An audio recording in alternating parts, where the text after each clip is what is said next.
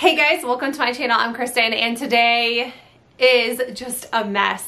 So I have been working on all kinds of DIYs and I'm trying to clean my craft room, which craft rooms never stay clean once you start working and I like to lay everything out all over the floor and figure life out and then I if I can't figure it out I just leave and that's seriously what happens and I'm sure I'm not the only one.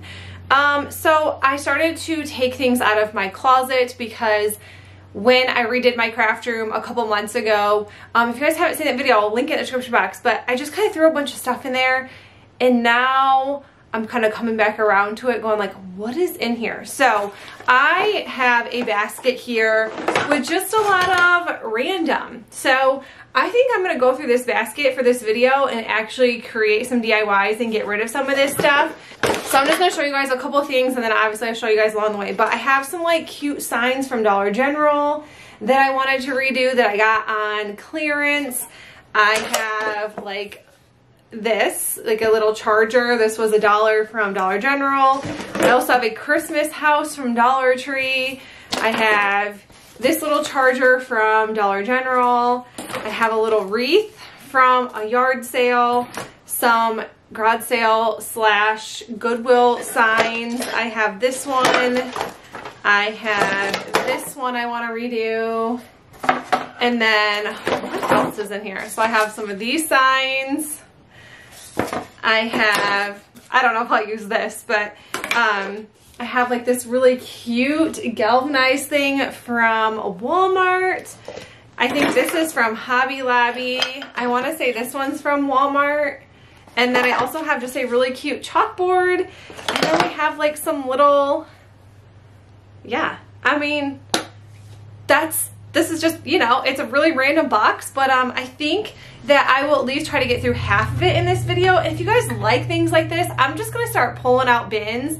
And honestly, this was not planned. This was not like I took things out and like, this is what was in this bin and this is things that I want to use. So anyways, without further ado, let's do this. Like, let's get into this grab a tote or a box or a bin or a basket, whatever you have, and let's get to using some of our items. All right, I'm jumping into the easiest ones, of course, a chalkboard. We all have them. I know we do. If we don't, I'm really shocked. I probably have a ton of these smaller versions, but I am diving in because this is going to be the easiest one yet super cute. I'm using the Chalk Couture Silkscreen Transfer. This is their Club Couture monthly subscription.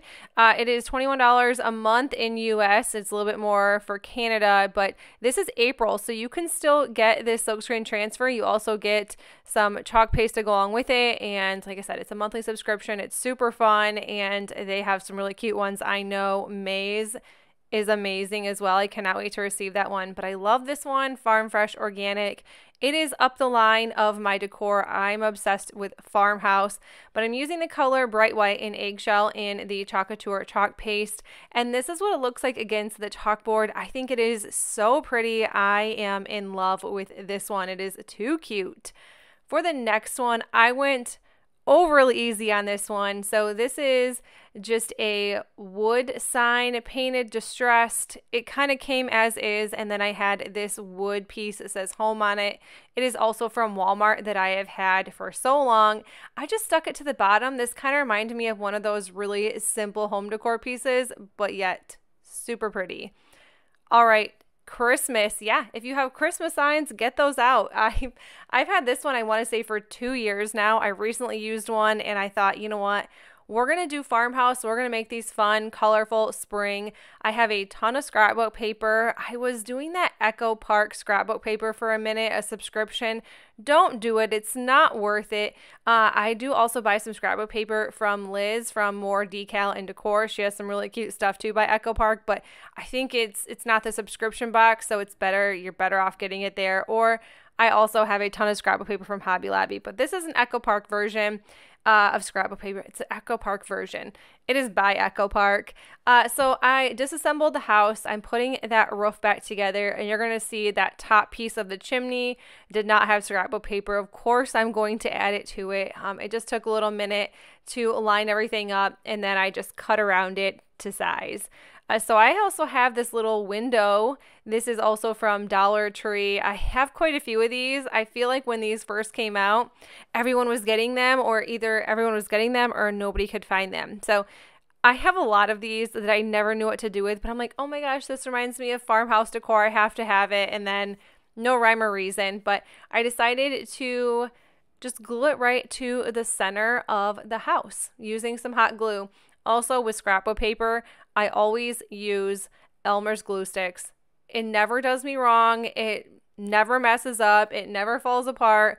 I can always count on Elmer's glue sticks. I also had this wood piece. This is also from Dollar Tree. Painted it white. And then, of course, some hot glue to the center of that window. So I'm using a Gorilla Glue Gun. I love this thing. I'm also using Gorilla Glue Sticks. I have found they work the best out of any glue stick or glue gun I have ever used. I have had this, I want to say I've had this glue gun for like a year, no drips. Found these rub on transfers off of Amazon. I will link them for you guys. They're absolutely adorable. So I think they're like $17, but you get a lot, and there's going to be a ton of projects I will be able to do with these. So I chose the pig and added it to the center. And that is it. You could add some greenery, you could add some bows, but I kept this one pretty simple. I do want to add here, though, that these rub-on transfers actually have a sticky top. So normally the rub-on transfers that I buy everywhere, the top just kind of comes right off. It kind of peels right off, but this one is sticky. It's like a sticker, so it does take some time. So definitely seal your projects if you are going to use these rub-on transfers because if you don't, it will take the paint with it. They are just very strong, but I think the rub-on transfer stays on really, really nice. Next one, this is a Dollar General clearance find. It's funny how you can have all this crafting, these craft items, these craft signs, and know exactly. Granted, one for one, this says Dollar General on the backside, but you know where everything came from, or you know how much it cost, or you know it was on clearance, or you know you paid full price. It's just, it's funny how we can know things like that. Uh, I'm using a rub on transfer. This one is from Dollar Tree. I picked up one of these not knowing what to do with it, but I was like, it's a new rub on transfer. I have to have that. I decided to cut it in half and just make a really pretty sign with this. And although it does not match perfectly when you're aligning this, it is it still works amazing. It still works great. It still looks good. I love that black white on the wood framed sign. I just I think this one turned out so cute. Although it's not my style, I really do like it.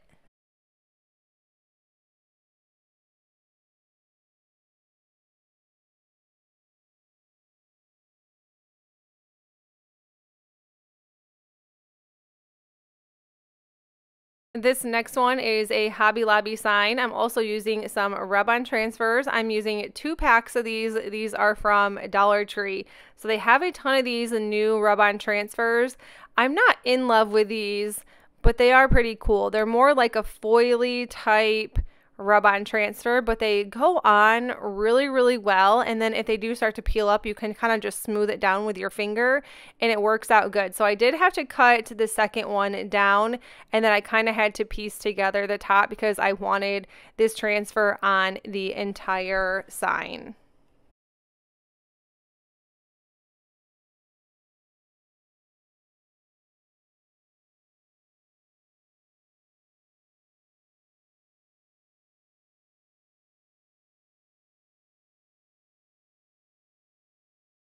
Once that was all completed, I did just use this chalkboard. This is from Michaels, and I just pulled off that stake and hot glued this to the center of the sign.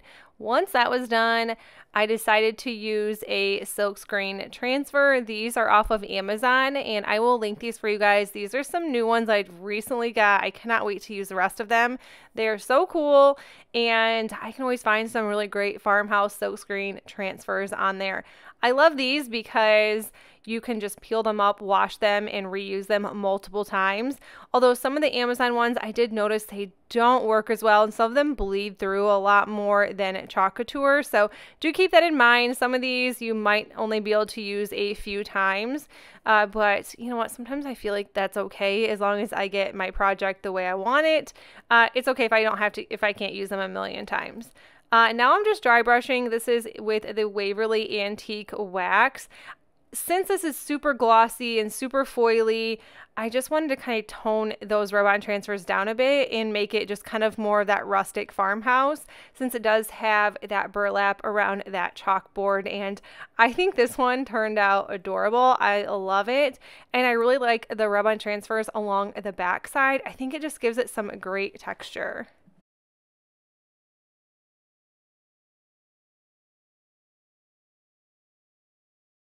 This next one, I'm using that galvanized Walmart sign and I'm using this white chalkboard. This was originally from Michael's and it came in a four pack in it was from the kids section actually on clearance super cheap. I've used the black circles before. Now we're going to be using this one so i'm using a rub-on transfer. This one is from the bells and whistles. Down on the farm i think is what it's called uh, rub-on transfers from dixie belle I love them. This is the second pack I've gone through and I'm almost completely finished using this one as well. I just took some hot glue, glued this sign to the center of the galvanized piece, and then I kind of pushed down pretty hard just to make sure because I wasn't sure if it was going to stick for that long on galvanized. Sometimes the galvanized stuff just doesn't stick well, but you know what? So far, so good. I'm using this green garland I picked up at Dollar Tree very recently. I want to say within the last week or so. And then I'm just hot gluing it around the white sign just to make a really cute DIY wreath. I thought this was super cute and super fun to make. And I love that it's kind of a wreath, yet it is also a sign. Um, I think this would be a really great piece to stick on your front door, your back door, you know what? And you can also actually just probably hang it in your house. I think it is cute all around. So I did end up pulling some little pieces off and just adding it to the wreath because it was kind of like a wonky looking wreath. Uh, so I just had to add a little bit more to it. These burlap flowers are also from Dollar Tree, and I'm just adding three of them to the bottom of the wreath. And then, of course, I'm messing with it and moving stuff around, seeing if it needs more hot glue, cutting things down.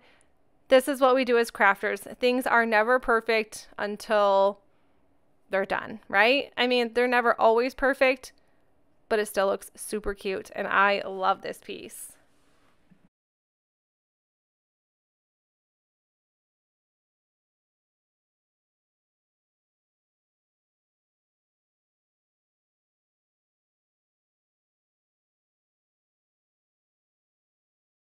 Here is a Dollar Tree sign. So I did have that love one I showed in the beginning, and I'm only using one of these. I think I may just use that love sign for something completely different. Um, but the first thing I did was just pull off that wreath. This little wooden house is from Amazon, and I think it came in an 8 or 10 pack. I'll link them down below, but I actually bought these to use with those rub-on transfers I showed recently, and then right here. So I have a ton of these transfers. I decided to go with this cow one and I added it right to the center of the wooden house. So like I said, these do have that adhesive topper. So just keep that in mind. Uh, I figured since I'm using just some raw wood, I didn't even have to worry about anything peeling or coming up. Uh, but yeah, still peel these off slowly just so you don't ruin anything. And then I'm adding that wreath that came from the home sign right back. I just kind of wanted to add just a little bit extra. So the house, the cow, along with a cute bow, and then just adding that wreath back, I think it makes this sign so cute. And I think it just kind of gives it a nice little upgrade.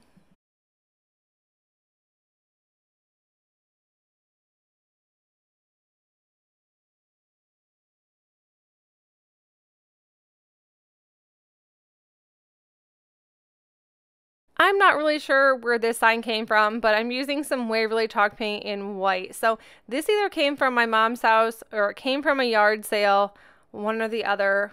It came from somewhere. Uh, so once I painted it white, I actually decided to use scrapbook paper instead. I just, the white, I wasn't feeling it. I wanted something funky and fun. This is the Echo Park scrapbook paper. Like I said, I bought a bunch of this. And the sad thing about the Echo Park paper is that it's double sided, so you have to choose. And it is really hard to choose when both sides are really, really cute. Uh, but this is really thick scrapbook paper, and I do really like this. So I don't want to dog on their scrapbook paper because it is really good. It's really cute and it's, you know, it's a clever idea to do double sided for sure. Uh, I actually decided to go back on the sign and use the Waverly chalk paint in the color celery to paint the sides so it does match those plants. Now I'm using this galvanized, I want to say this is an arrow, but it looks more like a house to me. This is from Dollar Tree, adding it to the center. I have quite a few galvanized items that I want to use. Farm Fresh, this came from my craft stash bin is it a bin or is it a basket? I want to say it's a basket. I keep calling it a bin, but I'm gluing that to the center of the arrow house. Once that's done, I just made a little wreath with that same garland that I previously used, added it to the top, and then you can embellish this however you would like. I kind of kept it pretty simple. I didn't really want to take away from the scrap of paper or that farm fresh sign, so we're keeping it a little simple here.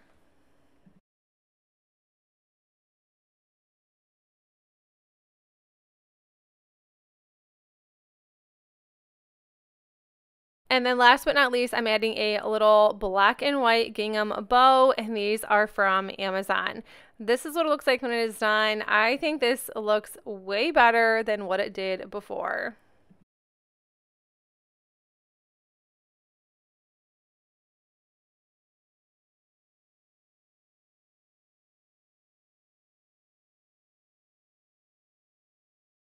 For this one, I'm using three of these farm animals. These are from Dollar General. You can pick them up this year. I have ones from previous years, but this year they come in this darker brown color. I know last year they were white, and I think the year before they were black. I have them all. I've used them all. Uh, so the first thing I did was paint them. I'm using the Waverly chalk paint in the color Celery.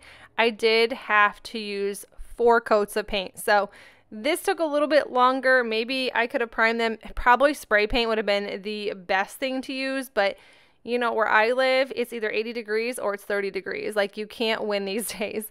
I'm using some rub-on transfers from Dollar Tree and it's I've already used some of these before, but I just kind of want to use some more of these words. So we got peace, we have love and joy, and I'm just sticking them in the center of the animals.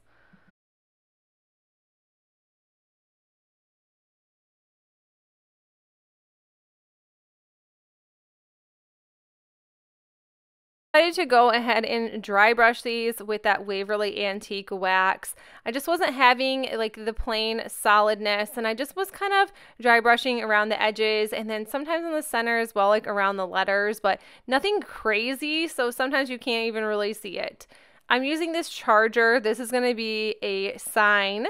So you can use this however you would like, but I'm just adding these farm animals like a farm animal stack like what you see. So we have the cow on the bottom and then I'm going to go in with the pig and then the rooster.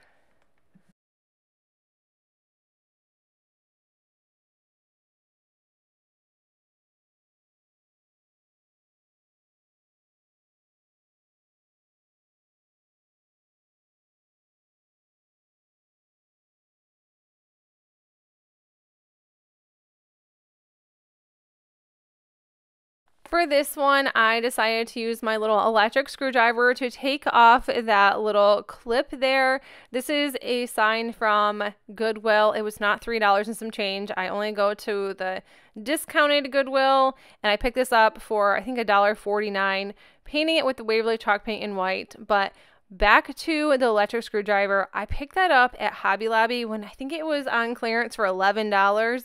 That is seriously one of my favorite investments I've ever made. It is so easy, and it's so compact, and it works amazing when you need to take off screws. So I have also had this galvanized chalk for I want to say years. I want to say I've had this for years, and every time I think I'm going to declutter and get rid of some items, this thing keeps coming back in the bin because I'm like, no, I will have purpose for it someday. Well, at least today is the day. I'm using those same rub-on transfers that I used for those little stackable animals. This one says Simply Blessed. And then I'm just going to be adding some greenery rub-on transfers around the edges of that Simply Blessed just to kind of give it a little bit of color. We, we don't want too much color. This this is Kristin Kay's channel. We don't have lots of color here, but color is always nice. So this video, I did want some pops of color. It is spring, so I feel like it was necessary. I'm not really doing a ton of spring videos, so I mean, this is probably as springy as it's going to get now. Uh, we just had snow recently, so you know, we got some color. So these burlap flowers, they come in all different sizes. These are from Dollar Tree. I'm using four of the smaller ones, and then I am gluing the flowers over the top of those holes so you cannot see the holes. Sometimes I feel like you can only do so much to cover up the holes from the dollar items or the Dollar Tree items. Uh, but if you can find something to glue over them, that works great. So once these are glued, I just used some greenery pieces and just kind of push them inside some of the flowers. I just, like I said, we're kind of going with spring theme, so we wanted just a little bit of green, not too much, but just enough. And this greenery is from that same garland. We're kind of just keeping it simple here and just using up items. This is what this video is entirely about, is using up your items. Um, but yeah, glue them, add them. I kind of pulled some off, redid them, went back, did it again. As you can see, that's just, it's crafter's life here. I'm sure we all do that. Uh, but this is what it looks like when it is completely done. And I love that I used up tons of my stash. Okay, so I just wanted to show real quick what was left in my craft stash bin um, or basket. So I have this wreath I did not use. And then I have this charger I have not used. So this is just going to go in another craft stash bin. And I was just up on my community tab and it's probably still there, of course.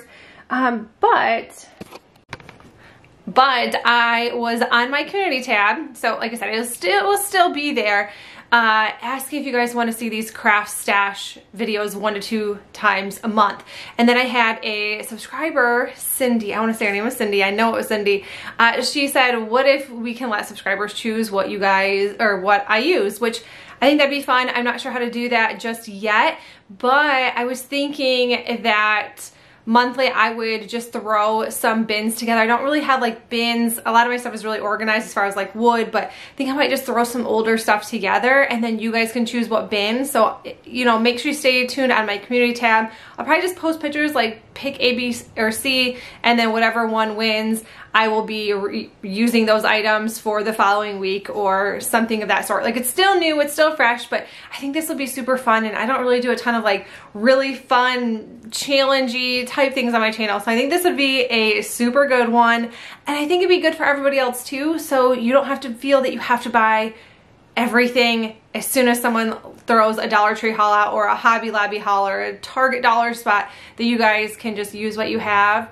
because it becomes so overwhelming and I've said I can't, I've said that enough. Like I've said that a lot. So anyways, I hope you guys liked this video. If you did, give it a thumbs up. And if you're new to my channel, consider sticking around and subscribing. I'll see you guys soon. Bye.